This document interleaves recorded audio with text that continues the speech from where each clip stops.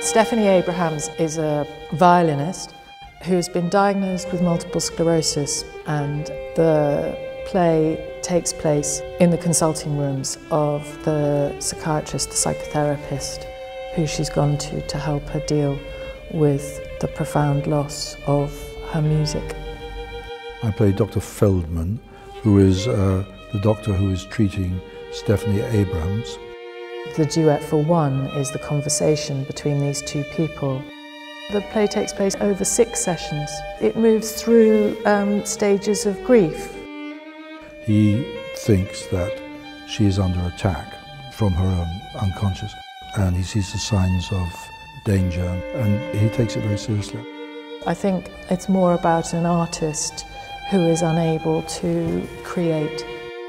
It's an exploration of somebody who's grappling with huge loss and difficulty in her life.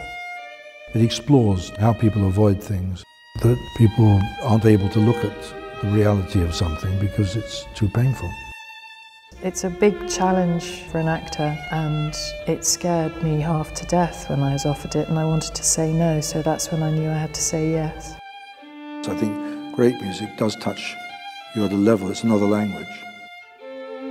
The line that struck me when I saw it, people think there is a God and I know where they got the idea. They got the idea from music, which is such a beautiful line, isn't it?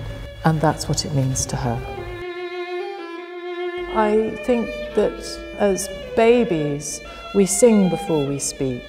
And as very old people, the last thing to go are the tunes that we remember. I think it is very uplifting. Anything that makes uh, an audience think about something or ask questions or argue is good. I think it's the most wonderfully positive and uplifting play. It's savagely funny and it's got enormous wit and it's got huge warmth.